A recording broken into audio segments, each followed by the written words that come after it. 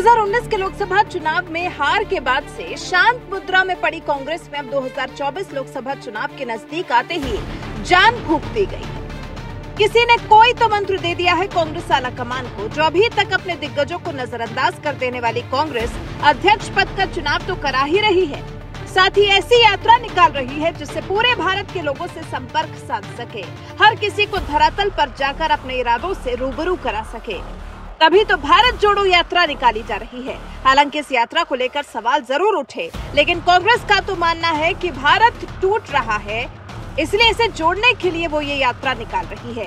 कांग्रेस को यकीन है कि कन्याकुमारी से कश्मीर तक निकाली जा रही इस यात्रा के ज़रिए वो भारत को भी जोड़ेगी और भारत के लोगों को भी अपने साथ जोड़ लेगी। भारत के लोगों का विश्वास जीत लेगी, उनसे संपर्क बैठा लेगी। तो फिर क्या पता लोकसभा चुनाव में इसका फ़ायदा भी हो ही जाए।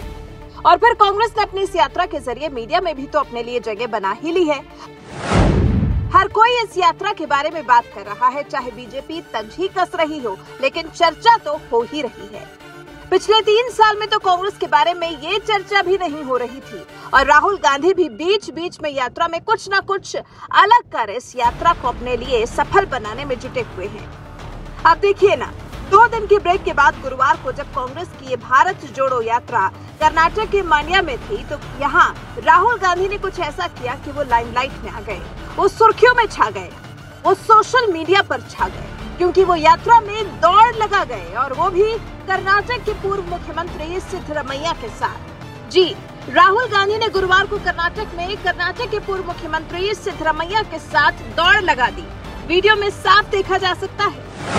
राहुल गांधी सिद्धरमैया का हाथ पकड़ते हैं और फिर दोनों नेता दौड़ने लग जाते हैं। जब दोनों नेता दौड़ लगाना शुरू करते हैं तो फिर वहाँ मौजूद अन्य नेता भी दौड़ने लगते हैं।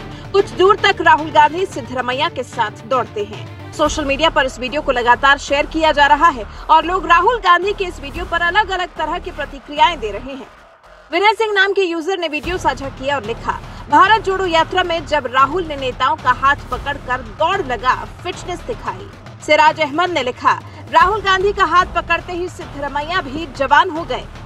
हम लोग नाम के यूज़र ने लिखा, अब आईएनसी बदलाव आ रहा है फिट रहना होगा। मानो राहुल गांधी सिद्धरमैया को सिखा रहे हैं, कर्नाटक चुनाव आ रहे हैं। फिट रहो, नहीं तो कर्नाटक में बहुत से लोग जी के शिव कुमार भी फिट नज़र आ रहे हैं। वैशाली चौधरी ने लिखा इस भागदौड़ भरी ज़िंदगी में टेंशन फ्री रहना है तो राहुल गांधी से सीखो। अब तक इकतालीस चुनाव हारे कोई गम नहीं। कृष्णकांत ने लिखा, जब चलते चलते राहुल गांधी ने लगाई दौड़, पूरा काफिला साथ में दौड़ पड़ा। ऋतु चौधरी ने लिखा दिन भर की थकान के बाद भी चेहरे पर हँसी के साथ दौड़, राहुल गांधी और सिद्धरमैया कांग्रेस नेता डॉक्टर राजेश मिश्रा ने लिखा, थोड़ी सी खुशी, थोड़ी सी हँसी और जरा सी दौड़, ये है भारत जोड़ो यात्रा, हमारे नेता श्री राहुल गांधी जी। द भारत नाव नाम के यूज़र ने लिखा, कांग्रेस की भारत जोड़ो यात्रा के बीच कर्नाटक में मज़ेदार नज़ारा दिखाई दिया। यात्रा में भाग लेने पहुँचे कर्नाटक के पूर्व मुख्यमंत्री सिद्धरमैया, राहुल गांधी के साथ पदयात्रा में शामिल होने आए। राहुल गांधी ने हाथ पकड़ा और दौड़ पड़े पचहत्तर साल के सिद्धरमैया। तो कुछ इस तरह से लोगों ने राहुल गांधी के सिद्धरमैया के साथ दौड़ लगाने पर प्रतिक्रिया दी। वहीं सोशल मीडिया पर राहुल गांधी की एक और फ़ोटो वायरल हो रही है, जिसमें चलते चलते राहुल के साथ चल रही कांग्रेस की अंतरिम अध्यक्ष सोनिया गांधी के जूतों की लेस खुल जाती है। तो राहुल गांधी माँ के शूज़ की लेस बांधते नज़र आए। कांग्रेस ने भी माँ लिख कर हाथ की मोजी बनाकर इस फ़ोटो के साथ साझा की। तो अब आप हमें बताएँ कि आपको राहुल गांधी की इस भारत जोड़ो यात्रा से कितनी उम्मीदें हैं? ये जो छोटी छोटी चीज़ें कर, जिस तरह से राहुल गांधी जनता के मन में उतरने की कोशिश कर रहे हैं, आपको क्या लगता है? क्या 2024 के चुनाव में राहुल गांधी को इससे कोई भी फ़ायदा होगा? क्या राहुल गांधी अपनी इस यात्रा के ज़रिए कांग्रेस की डूबती नैया को पार लगा पाएँगे? आप इस बारे में क्या सोचते हैं? अपनी राय हमें कमेंट कर ज़रूर बताएँ।